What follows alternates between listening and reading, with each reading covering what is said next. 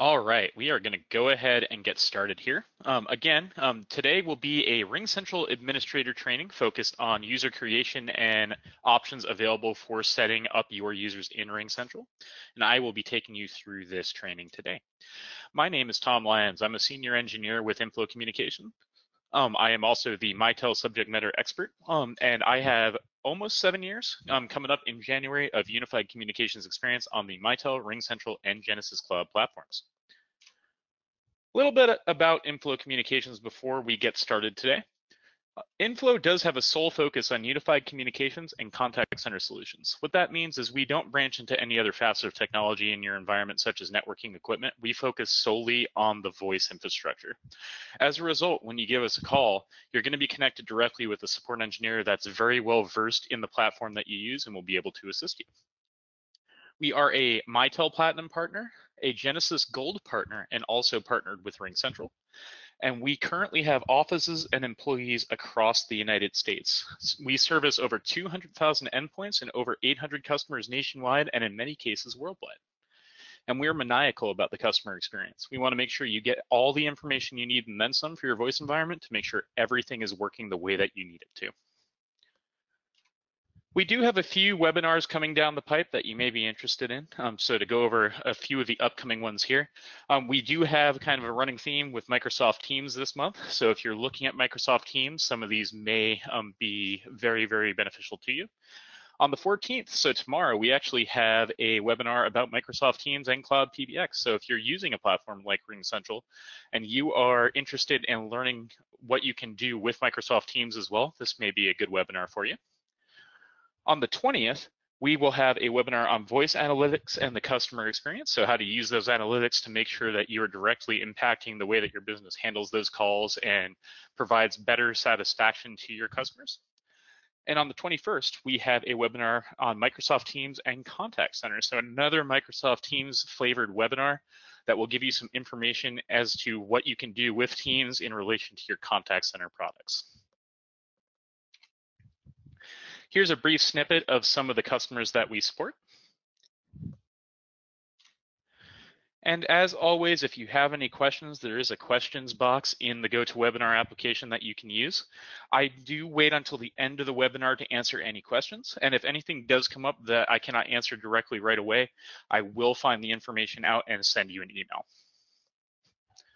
And so with that, we're gonna go ahead and jump right into it here. So I will go ahead and make this full screen to make it a little bit easier to see. And what we are looking at right now is the main admin portal for RingCentral. I'm going to go over what we're looking at here real quick, and then we're actually going to jump right into users. This will be part of a series of videos that we will do about Ring, RingCentral admin training. This is going to be the main page that you will see when you first log into your admin portal. You'll notice that there's a few buttons um, at the very top, then a few tutorials to show you what you can do in the system. RingCentral is set up in such a way that it that it makes it a lot easier than most systems to figure out exactly what you want to do and navigate there. So to go through what we're looking at here, um, these four buttons here are going to be a lot of main information for your system, um, such as your business hours. This is actually the business hours that the auto receptionist, which is the main the main receptionist or IVR that is used for calls that are coming into the system that will edit the hours that those those are in use. You can also edit the call handling and greetings from here. Set your caller ID for outbound calls and also publish your company info for directory assistance. So there's some very quick uh, at your fingertips buttons when you first start up the system. Underneath there, there's some some tutorials for setting up um, things that you may need in the system, such as using call queues, setting up notifications for calls, voicemails, and faxes. So you can set up like email notifications for voicemails and things of that nature. Change your company voicemail, call forwarding, and change the colors here. So that would be your hold music. So you, you do have tutorials here as well. And any of these buttons will bring you to the page associated for these. So for example, if I click on edit business hours, it's gonna bring me to that, uh, that particular piece in the auto receptionist. We're not gonna spend time on this today because we're actually gonna be talking about users. Um, but I just wanted to show you what that home page is looking, looking like for you. So when you're on this home page, up at the top, you also have a number of different columns that you can choose from. Um, the one that we're going to focus on today is users. I'm going to go ahead and click on that. And what we're going to go through today is we're going to go through how to create a new user, how to make sure you're using the existing phone that you have, um, or set this user up for soft phone, um, as well as purchasable, options that are set up in the system for this. And then we are also going to go over user configure, configurable settings so that you can set up the user exactly the way they need to be. So I'm going to go ahead and click on the users box here. And when I do this, it's going to open a user list. And you'll notice on the left side, there's a few different options. There's users with extensions. There's also unassigned extensions. Um, unassigned extensions is going to be for users that don't actually have a phone. Um, they're built in the system, but they don't have a way that you can directly contact them. Um, users with extensions are typically going to be where you are. And you'll see here that we actually have in our demo environment, we have three users. Um, so we have the Inflow admin, engineering, and sales. You'll notice that they are extensions 101, 103, and 102 respectively. And they also have direct numbers assigned to them. You can also see their roles, which is important for setting them up in the system the way that they need to be for permissions. That will be covered in a later training, but this you you can see that these are all set up as super admins, which means that they actually have access to the backend that I am in right now. You can also see if they're part of a specific department and if they're listening to their voicemail. So you can see here that there are four of four available for the, the Inflow admin. There's also a couple options here under actions. If I click on the, the three dots here, you can see I can copy and assign the user. So if I just want to create the user as a template, I can do this here. If there were more users, you could search the users box here um, to find the specific user you're looking for. And then to actually add more people to the list, you would use this add user box. Now this one can be a little confusing if you've never used it before. So I'm gonna go ahead and click on this. I'm gonna walk you through the process. We won't be able to go all the way through because it will um, actually incur a charge um, when you are finished creating the user because that is how RingCentral bills. They do bill per, per user with existing phone lines or per, per direct number assigned. But to go through the options, I'm gonna go ahead and click on this box and it is going to pop up a new window here with a four-step process. Um, so you see here the four processes are selecting a location, adding users, adding shipping info if you're going to buy a phone, and then a confirmation, which is where the actual order is placed. It will give you a breakdown of how much the users will cost, um, including recurring charges as well as one-time fees, and then um, would complete the process. So for this test, I'm going to use domestic users because we are going to set it, set it up so that these users would be in the United States. So I'm going to go ahead and click next here. And on this page here, you'll notice that there are two options. I can add users with devices, or I can add users without devices. If I click on without devices, you'll note that it says that adding extension without a phone is free, but it does cost $18.99 per month for any users that make and receive calls, even if they don't have a digital line. So this would be for if you set up a user in the system that is just having calls forwarded to their cell phone through the RingCentral platform, you would still have to pay for calls to those users, even though you're not using an existing RingCentral phone or a soft phone variant. So that is important to note um, that there would be a charge applied even for those. In order to go through and show you all of the options, I'm going to go ahead and click on add users with devices. And this one is fairly easy. Um, so I'm going to go ahead and click on the quantity. This is just the number of users. So let's say we wanted to add five users here.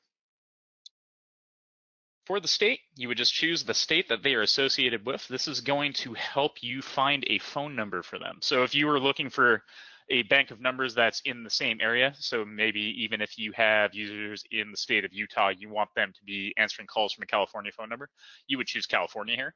Otherwise, if you just want to have the numbers close to where these users are, then you would select where they are. So in my particular case, I'm in the state of Washington. So I'm going to go ahead and enter Washington here and click on Washington. Then the area code drop down becomes um, illuminated and I'm able to choose from that. And you'll notice that it's got specific area codes as well as cities. Um, this can be important for a number of states where area codes overlap through multiple counties.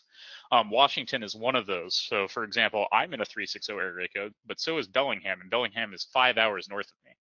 So what I wanna do is I wanna find a number specifically local to me, which would be Vancouver. So if I type in Vancouver here, you'll notice I have a number, a number of different options here. And I will choose 360 Vancouver. And then I'm going to choose either new numbers if we don't have any numbers that match that that area code, which in this case we do not, or if you have company numbers that are available, you can choose those numbers here as well.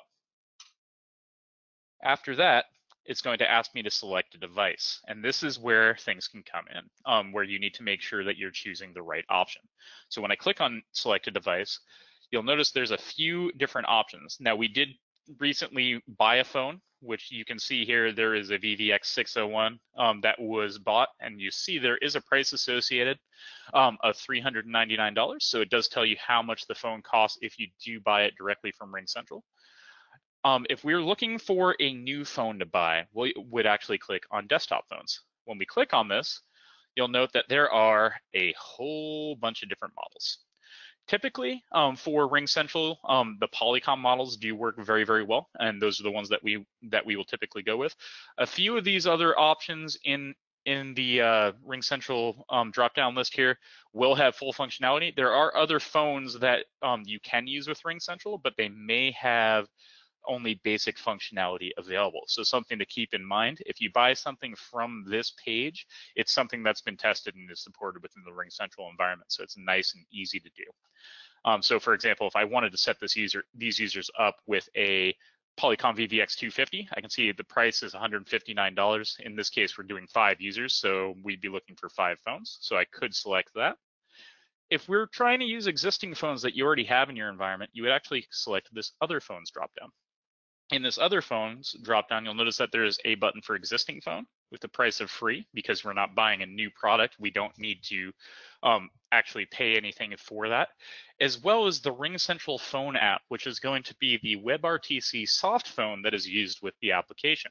This will allow you to use the application to make and receive calls using a PC headset, and that is also free because that comes with the application. You would still be charged for any direct numbers and usage, but just, just the app itself is free. I'm gonna go ahead and click on the phone app for now when you when I do, you'll notice it says it tells you exactly what I was saying there. You can answer and place calls using your PC and the included RingCentral phone app, which you can place on your mobile phone as well. Um, and in this particular case, we'll use that for all five users. So we're going to select five free options for the, the phone app here. When I do that, it has now added it to the device. And I'm going to go ahead and hit add.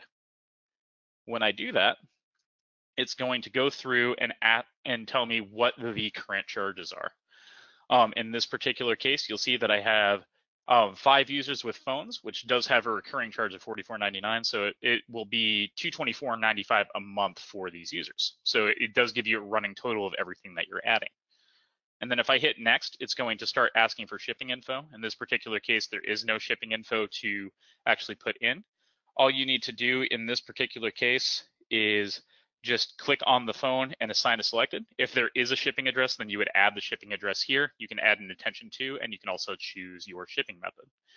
And then after this, we'll give you a confirmation of the charges as well as um, what you have selected. And at that point, once you hit finish on the on the confirm page, that is where the order is placed. The users will be will be uh, will be created and then you would be able to um, set those users up. I'm going to go ahead and exit out of this because we don't want to incur a charge here, um, but they would be added here.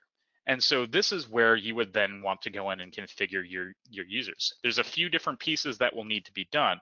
Um, in particular, if you want to have phone numbers set up for your users, um, phone numbers would need to be built in, um, as well as making sure that their their phones are assigned, and then also making sure that their user settings are the way that you want them to be. And that's what we're going to talk about um, for the next 15 minutes here.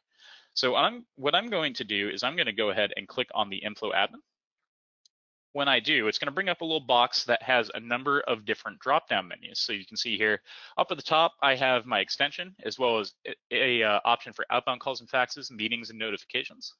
Then I also have a user details, phones and numbers, screening, greeting, and hold music, call handling and forwarding, and messages dropdown. These are all going to give me the configurable options for my users to make sure that I have them set up exactly the way that I want them to be. So for example, if I click on the user details dropdown, You'll notice there are two tabs for this, um, general, which is going to be your basic information about the user, as well as settings and permissions. So to go through the general tab here, it is fairly self-explanatory.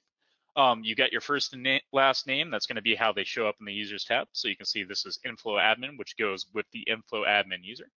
You also have the option to add a job title and a department to the user. Um, this will show up on the users page as well um, so that you can find people very easily. So if I wanted to, for example, put inflow admin in operations, I could just add operations to the department here and hit save and it would show up in the user list. I can also change the extension number here, add a mobile phone if you want to have that phone as an option for um, external calls um, to get forwarded to as well as a contact phone number. If I hover over this and, and click on the informational tab, you'll notice that it says this contact number will be used to contact you if we need to verify your identity. So this will be for things like if you're locked out of your account, need assistance logging into the system, RingCentral may give you a call on this phone number to reach out to you. You also have a email address that will be assigned to the user. And you'll notice there's a little button under it that says verify email uniqueness. The, the uh, email on the user does have to be unique to the system, so you can't have multiple users with the same email address. When you click on this button, it'll just double check your database and make sure that that email address is unique. If it's not, it won't let you save the user with that email address. So that's something to keep in mind. You can also change your password here if you want, um, and even change your email settings. So if you want information on products or if a phone's added, you can get that set up as well. We we use both of those for our admin accounts so that we can get up to date information in RingCentral and also know what's going on in our demo system. So you can see that here. You can also record your username. So you'll see here um, there is a edit button right under here. If I click on this edit button, you can either use text to speech, which will just um, say the name that you have in the greeting name box there. You can also record your name. So you can actually use a PC headset or a phone, or actually, no, you would have to use a PC headset here. I apologize to um, record your name when people get to your to your mailbox. So you do have those options here. A few more settings as well, though, under the settings and permissions. This will actually um, give you a few more options for for setting up the user and making sure they're working specifically the way that you want them to. In particular, the the uh, roles, the user groups, and the user hours are all fairly important. So I'm going to go ahead and click under user hours here. And under user hours, you'll note there are two different options. You can set it up for 24 hours a day, seven days a week. So it's always technically um, on hours for the user.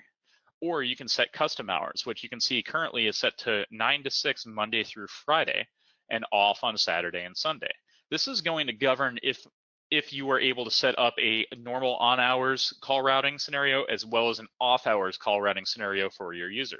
If you're set up for 24 hours a day, seven days a week, then there will be no off hours. And the system is actually intelligent enough to say, oh, you're actually set to 24 hours a day, so there is no off hours operation. If you want to change this, you just need to go to the user hours and change them to custom hours. In this particular case, because we are set from nine to six, we will have the ability to set an off hours greeting. Your roles, as we noted before, is going to be how you have access to the RingCentral system. You'll notice there's no edit button on this particular user, and that's because this user, as you can see in the parentheses up on the top, this is our standard super admin for the for the uh, system. The super admin cannot be changed. This is to make sure you don't lose access to the system.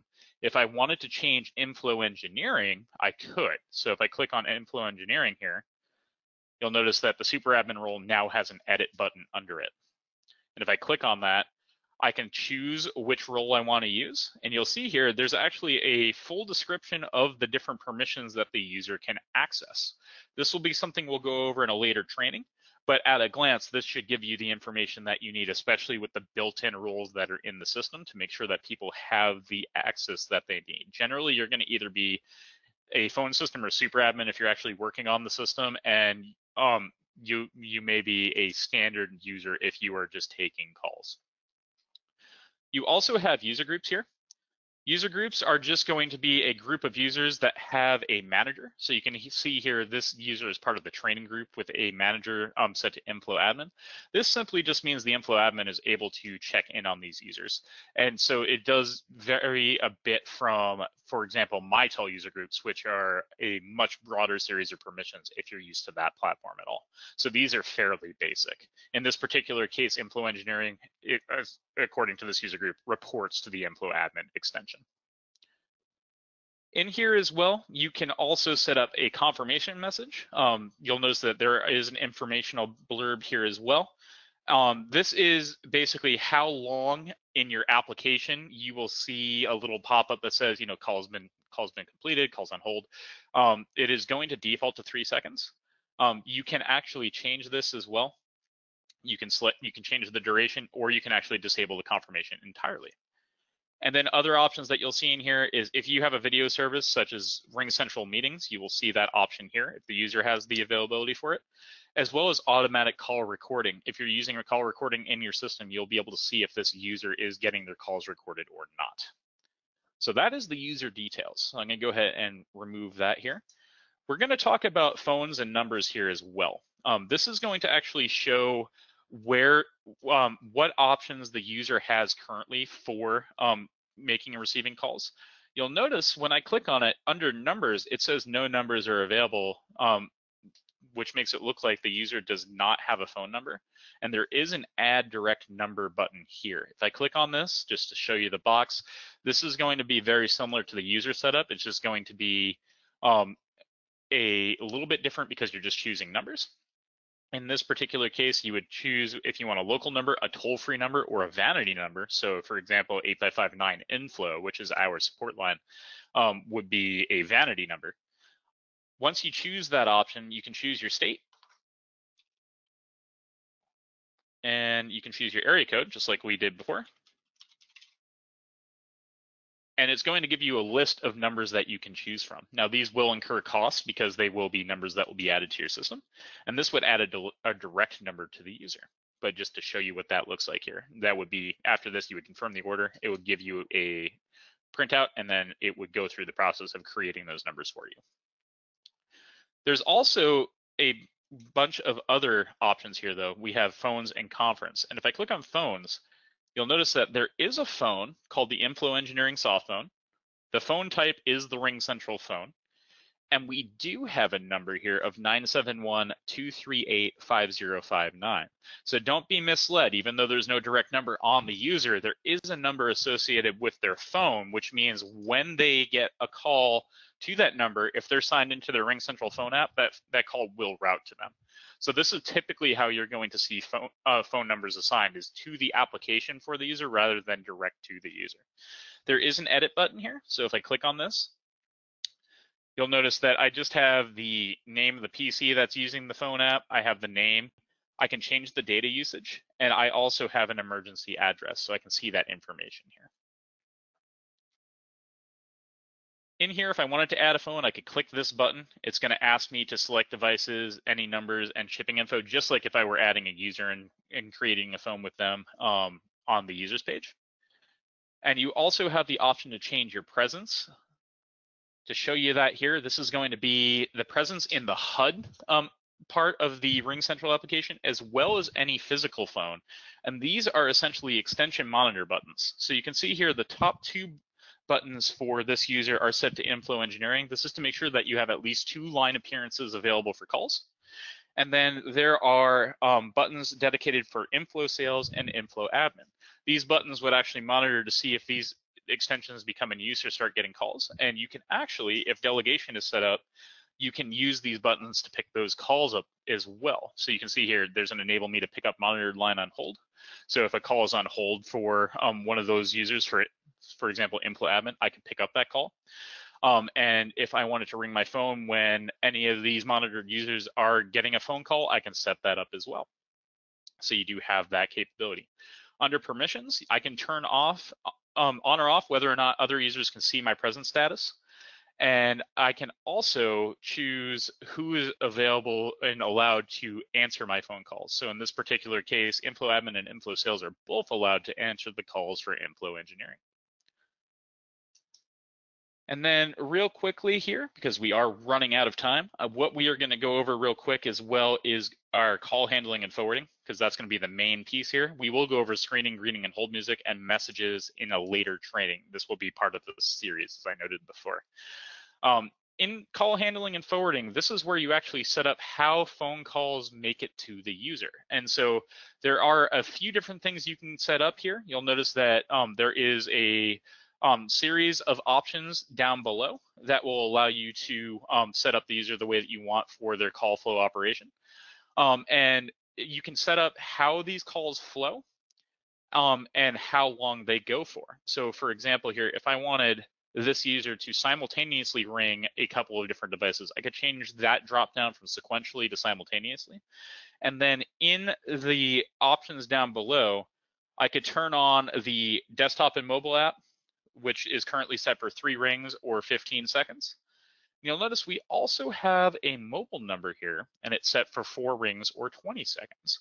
So what this tells you is when a call comes in for this user, it'll actually try to ring the desktop client um, three times, which is approximately 15 seconds. That's how long the ringback is. Um, and it will also at the same time reach out and try to contact that mobile phone and ring it four times. If I wanted to add another phone for this, I could. All I have to do would would be to add a phone number into the um, box here, and then I could turn this on or off. This slider to the right is active, and to the left, like this, is disabled. So you can see that here. And I'm gonna go ahead and hit cancel there. We will go back to call handling and forwarding real quick, just so we can take a look at a couple other things here. Um, if I click on add call forwarding phone, it's just going to add another line to the bottom there. So if I wanted to add a whole bunch of phones, I can do it that way. I also have the ability to forward to others' phones here in the dots. So if I click on that, I can actually choose a particular user and set them up to, to get the calls that are forwarded as well. This is for normal hours. If I click on after hours, um, you'll note that there are a few different options you can do. Um, you can send callers directly to your voicemail, which will just play your voicemail greeting. You can play an announcement and disconnect if you don't want somebody to leave you a voicemail. You can forward calls, which if I choose forward calls, it, you'll notice that it gives me the option, just like before, to um, either ring my phones or send it elsewhere. And I can also set up unconditional forwarding, which would be just um, just allowing you to send calls directly to a specific number rather than trying to go through call routing. So you can do that with after hours as well. Remember from the beginning, if you were set to 24 hours a day, seven days a week for your call operations, if you click on after hours here, instead of these options, you're actually going to see a little blurb that says you can't actually set up these options because the user is set for 24 hour operation. If you want to change this, then you can go ahead and go into the user the user hours and change them to a custom mode. You also have some settings that you can look at for displayed incoming caller ID. If I click on this, I can see what is shown for me. Um, you can see you can see either the incoming caller ID, which is default, or the called number. Um, and you also have a couple options to display your main RingCentral number if the number calling is blocked. Um, and you can either show it on non-RingCentral phones only, um, meaning that um, just the normal information will come through, so the caller ID and, and name would come through normally on your application, or you can send it on all phones as well. And so with that, that does wrap up our time for today. Um, this was a quick intro to users. Um, we will have a series on this, including call flow, the auto receptionist, and group setup. Um, but for the time being, if you have any questions on user setup uh, and what I went over today, please let me know. I'm going to go ahead and give you guys just a moment here to see if any questions do come through.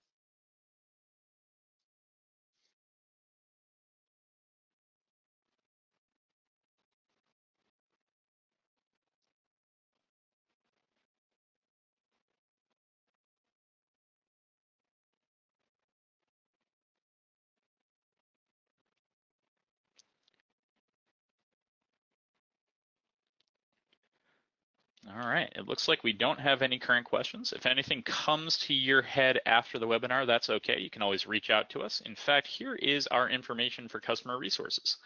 Um, if you are a current inflow customer and you need to get in touch with us for any support related reason, you can send us an email at support at inflowcommunications.com. These emails are answered in the order they are received. So if you do have an urgent issue, definitely give us a call. Um, however, we do have a pretty good response time on those emails.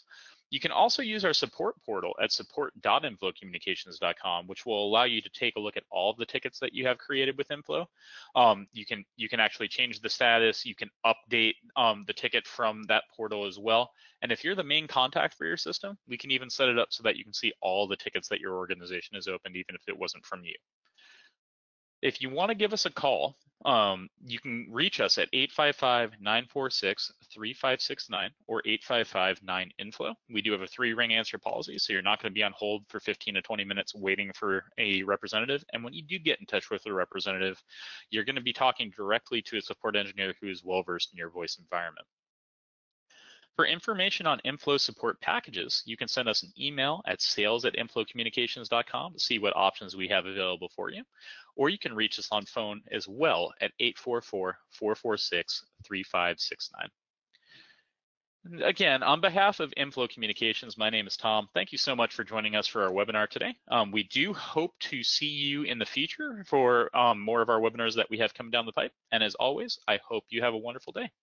Thanks, everyone.